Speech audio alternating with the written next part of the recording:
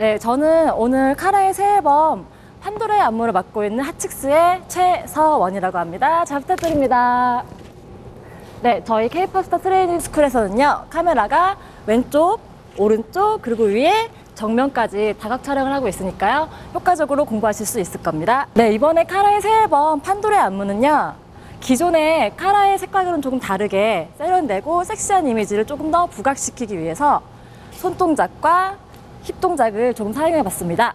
일단 가장 중요한 것은 전주하고 사비에 있는 안무인데요.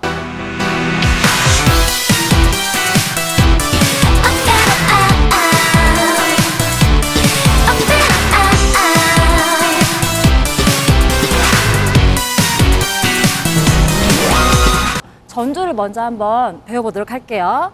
처음에 시작을 5, 6, 7, 8에 손목의 스냅과 다리의 점프를 이용해서 서주시면 되고요. 양쪽 방향으로